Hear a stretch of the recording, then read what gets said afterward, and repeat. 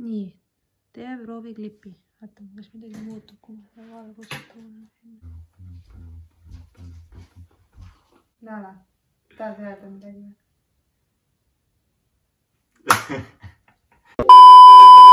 tere tulemast tagasi minu kanalile. täna me oleme siin kogu perega, sest et me hakkame maitsema erinevaid snäkke, mis ma tellisin Candy Pop poest, seal on siis äh, see on värskelt avatud e-pood Eestis ja seal on siis USA snäkid, Jaapani snäkid ja kuskilt mingitest riikidest veel.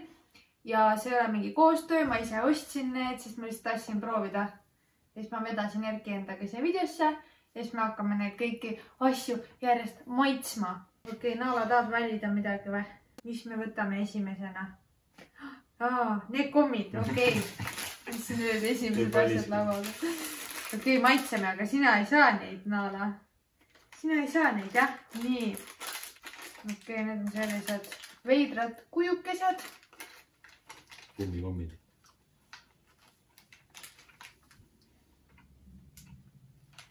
hea maitsega.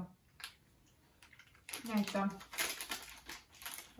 mitu kakku ka. selle susa asi on. kas need on kõik erineva maitsega või? ma proovin rohelist. Hambaaugu kinni. Coca-Cola. elu hea maitsega. siuksed suur batch kiits. mingid äh, krõpsud äh, selle hapukoore ja sibulaga, sellised.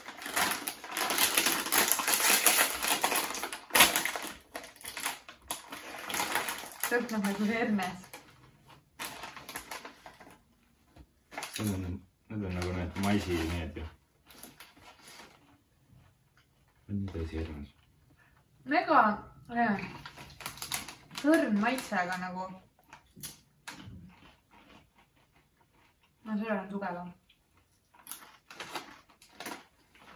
see on nagu hea. on ju? nüüd sööks ise ka ära. suht söödav. võtame mingi joogi nüüd. millise võtame? Vihki ka mingi kummid on meil enam. selle võtame. see on siis Fanta mingi marjamaitseline. selline sinine, seal on hästi palju erinevaid maitseid, aga ma tahtsin nagu erinevatest jookidest võtta ühe, et saada katsetada. oh, see on täis keemia lõhnaga. ma arvan, need kõik on. vaata seda värvi. täiesti sinine. maitse, vaata, mis sa arvad sellest. Mm. aga me teeme need kõik lahti, keegi peab need ära jooma. Erkile maitsevad tavaliselt siuksed keemiajoogid. noh, ma ei tea. hea või? no ei olnud ära, aga nagu ma ei tea, kas ma ise ostaks. ma ei Need on soojad ka praegu. Võtame selle hoti. Need on siis mingi Reaper Carolina Hers. ma ei tea, mingid äh,, mingi eriti hotid asjad, gluteenivabad muideks. mingid juustupulgad. Nana vaatab, et kõik on talle, aga midagi ei ole talle. Ussu kui jämedad. ussu kui jämedad. väike pakk. oota, võtame ühe ka peale.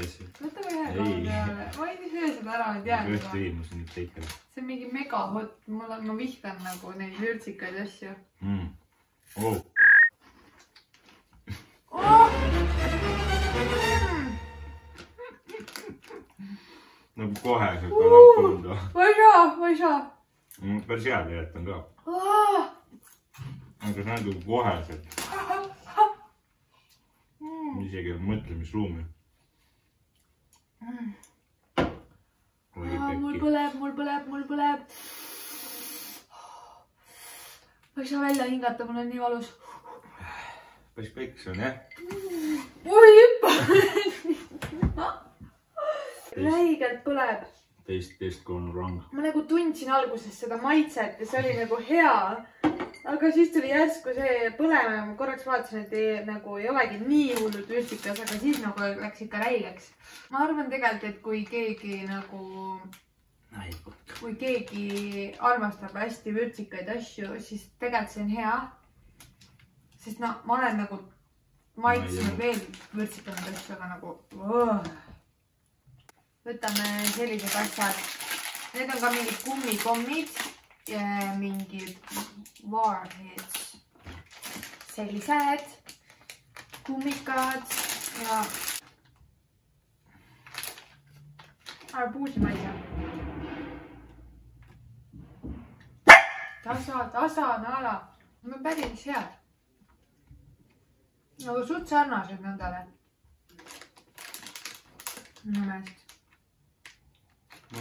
jah, vali sina järgmine asi siis. neid asju, mis Eestis ka on. kuigi ma olen näinud, kunagi isegi maininud. ma olen tegelikult midagi siukest näinud ja, aga nagu on päris see. ma vaatasingi pildi pealt, et mitte päris need, ühesõnaga näita, mis need on. mingid, mingid brain blasterid. hästi davai. mul ei ole, mida plastida ilmselt nii. kui see lahti tuleb. näed, brain blaster on juba nagu. mehed ei saa ikka millegagi hakkama, käibki niimoodi. lugu. siuksed väiksed, ei jah, mingid sarnased asjad olid küll. need on nagu hästi sellised väiksed, väiksed puulikesed uh,. mida nad tortivad? nüüd peaks hapu tulema. aga siin on see sidruni maitse on täiega. Mulle tavaliselt need sidruni maitsesed kommid ei meeldi. et ma pigem, kui ma peaksin valima, siis ma pigem sööksin neid kummikomme. sest need essad kummikommid olid väga head. nagu päriselt Neid võib närida ka. hmm.. Need on mu lemmikud praegu hmm.. söödavad nii-öelda, aga noh, suht mõttetud. Nii ise ei ostaks siukest. aga. võtame, kuna meil on praegu siin laua peal magusaid asju rohkem kui soolaseid asju, siis äh, võtame midagi, mis peaks olema suht sihuke neutraalne, mitte hapu ega ei ole kummikomm, niisiis mingid Oreo vahvlirullid. selliseid asju ma ei ole küll näinud. Eestis päris selliseid Oreo maitselisi asju on küll, aga. aa okei okay,, ma ei saa aru, mille jaoks on vaja eraldi pakendada neid. mis asja, no kolm, kolm pakki on sellises karbis või? jah, täiesti mõttetu. mõtlen Nagu- siit võtta. miks? ma ei tea, oleks võinud niisama jah. siuksed nunnud näevad välja. selle oleks võinud ka veel kilesse panna. aga päris hea. on hea mm,. see on väga hea. täna on rämpsu söömise õhtu mm,. see on nii hea mm.. tavaline õhtu. Ergil on tavaline õhtu rämpsu söömise õhtu, mul ei ole mul tegelikult ei ole. mm,. kui hea. sina Mm, vaata, tahaks ka. jah. päris hea jah. on sellega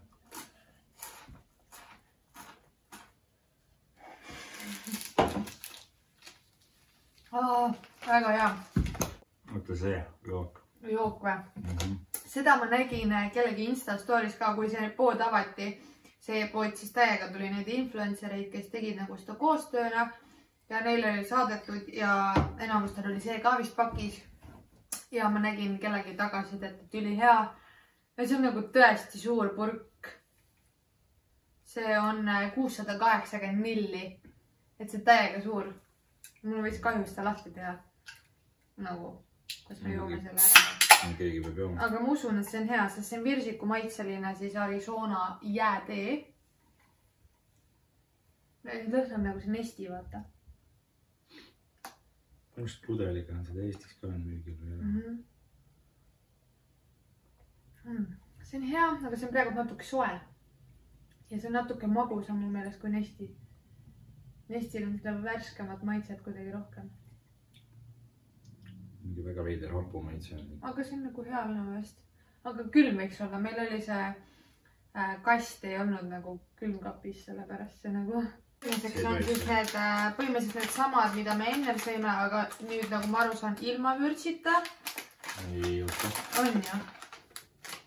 sama firma omad ja, aga nojah, vaatame, millised välja näevad. Aga need ei ole vürtsikad. aga jaa, need näevad välja täpselt samasugused. natuke heledamad. näete, sellised samasugused. Need on nagu need cheetosed, Erkile ei meeldi need. need on veits paremad. veits rohkem maitset nagu cheetosed Need on head, mm. -hmm. Aga need täiega pidisevad. veits soolasemad mulle nagu tegelikult meeldib see, et need asjad on nagu väiksemates pakkides. et sul ei ole korraga mingit mega suurt pakki, et sa nagu kõik peaksid nagu ära sööma. kui sa selle paki ära sööd, ei ole hullu. siin on, selles pakis on sada kuuskümmend kalorit. ja siin on sada viiskümmend, nii et sööd vürtsikamat asja, saad vähem kaloreid. moonaloogika. sööd jälle kotti ära, ma annan sulle viie viieka. ja rohkem ei anna.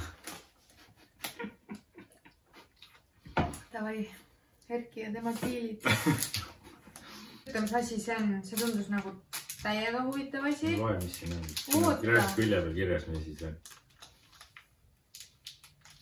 aa, šokolaad. okei, see on mingi äh, karamelli ja meresoolaga mingi äh, krispy, krõbe, küpsis. ei, küpsis, šokolaad, piimašokolaad. okei okay.. ega ma seal kodulehel valisin suht pildi järgi neid asju, ega ma nagu sellest ei süvenenud. vaatasin sealt maitset ja pilti. siin on mingi. okay,, see on šokolaad jah, sihuke mm.. väga veider mul tuleb, mul tulevad need jõulud meelde, vaata advendikalender šokolaad. no hea ju, nagu mulle meeldib see krõbe seal sees. hea. karamellitükid. Aafrika farmereid toetab. väga hea. okei okay,, võtame järgmise selle, see on ilmselt siin kõige lambikam asi, see on mingi, ka mingi brain bitch, bitch. nätsukommi moodi asi ja see on arbuusi maitsega. väga arbuusikas mm!. mis asi see on? oota, hammusta ruttu, hammusta ruttu, mida tunned? juba hapud, Küll hapu uh.. Mhm. täiega hapu, meenutab midagi. aga suht hea, suht hea hapu. seda on Orbiti arbuusinats. sõid sa seda väga hiljaaegu või? üpriski jah. järgmisena veel vähem huvitava asja, need on ka kummikommid. ma ei tea, ma ei tea. kuidagi kummikomme sai palju, suurt paku ka. aga need kõik näevad suht sarnased välja nagu lihtsalt mingi suhkrut üle kaetud ja mingi veider kuju.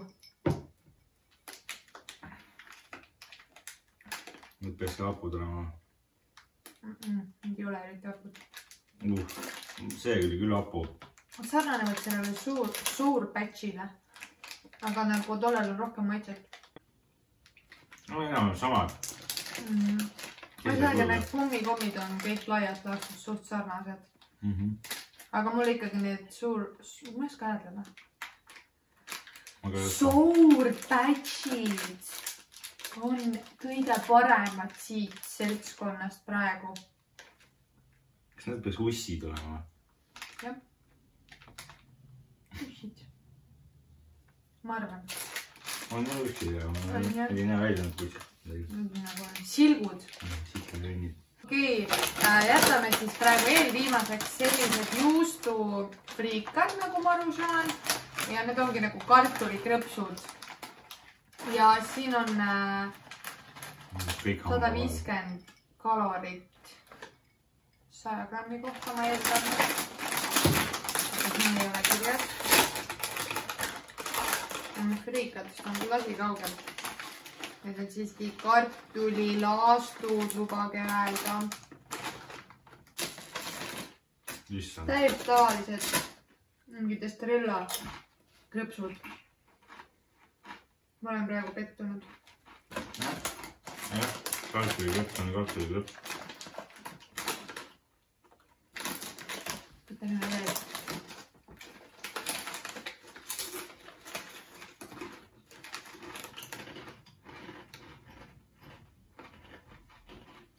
Kas siin ei ole üldse tugevalt seda juustumaitset, see on põhimõtteliselt nagu sihuke soolane maitse. siin on ühesõnaga kartul, juustused, friikad, juustus ja friika maitselised kartulikrõpsud nagu friikad on kartulist tehtud juba ju. hästi tavaline. kartuli maitselised kartulikrõpsud väga hea.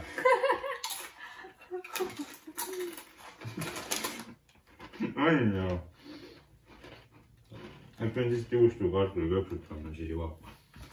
Need on ka gluteenivabad. aga päris nagu söödavad. ei, need on nagu Vedelema, head, aga nagu ma oleksin lootnud natuke rohkem siuksest välismaa toodangust.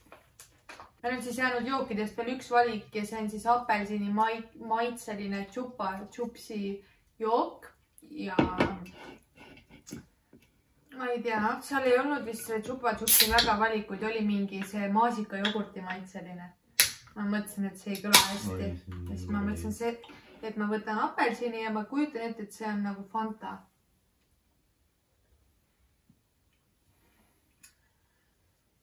see ei ole nagu Fanta. see on natuke sidruni maitsega rohkem. nagu see ei ole halb, see maitseb mulle rohkem kui see marja Fanta, mida me ennem maitsesime, aga ma ei tea, ma ostaks pigem Fantat kui seda ma ei tea, suht lamp. Erkile meeldib jälle, ma ütlesin. suht Fanta tegelikult ikka. kõige viimaseks asjaks juba siin, meil oli viisteist asja vist kokku minu meelest. kõige viimaseks asjaks on siis Twix, mis on äh, cookies and cream ehk küpsised ja kreem. maitselise, maitseline, see on Eestis olemas ei, ma ütlesin, need on nagu näinud. okei okay,, aga seda Twixi sellist ma ei ole näinud, kuigi neid äh, cookies and cream asju on nagu hullult palju, nagu iga teine asi on juba selle maitsega, aga proovime seda ikkagi.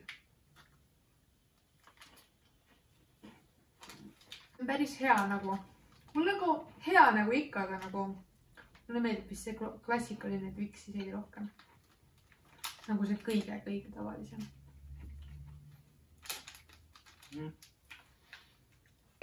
Naale, mis sulle siit videost kõige rohkem maitses? mis sinu lemmik oli? mida sa mõnitad ka veel? mis oli sinu lemmik midagi. siit videost? kõik oli hea jah, väga hea kõik jah. aga siinkohal said meil need kõik asjad proovitud. Erki, mis sinu lemmik oli? Hmm. ma vali üks magus ja üks soolane asi ja siis, mis jookidest lemmik oli? jookidest võib-olla see, sest see on nagu huvitavam. suht jookidest see Arizonas, siis Erki lemmik ja see kindlasti. ja, ja võib-olla need, ja magusatest asjadest see suur, suur batch. see, mis sul ilmselt. no võib-olla. Ja soolastest, mis su lemmik oli? soolased kusjuures ei olegi meil palju, kolm asja. ju, ei neli. võib-olla kus see nüüd jäi? siin. see isegi. nii sarnased asjad. nagu jookidest, nendest kolmest ma vist eelistaksin ise ka kõige rohkem seda Arizonase jääteed onju. siis äh, magusast ma praegu ei suuda valida, kas need suur batch'id või siis need Oreo vahvlirullid. Ma ei tea, aga soolasest ja mulle meeldisid ka need. Need olid väga head. aga väga tore, et sa meiega seda videot koos siin vaatasid. ja kui sa tahad neid asju minna ostma, siis mul teile sooduskoodi ei ole, sest ma ostsin need asjad ise. aga kellel huvi on, siis ostke ja proovige, andke teada, mis, mida head te sealt leidsite, sest seal on mega-mega palju asju ja seda valikut teha oli minul mega raske, ma mingi kaks päeva panin oma ostukorvi seal kokku. aga igatahes äh, saate proovida ja katsetada ja meile ka teada anda, mis meeldis. aga meie mind ei koti tegelikult. aga igal juhul, kui sulle see video meeldis ja sulle üldse sellised äh, maitsete testimise videod meeldivad, sest see on meil Erkiga juba teine, siis igal juhul äh, jäta sellest mingi märk maha, jaga oma muljeid video all kommentaarides. aitäh, et sa seda videot vaatasid. tšau. tšau, tšau, tšau, tšau, tšau, tšau. kui sa mind ründad, mina jään. Stars,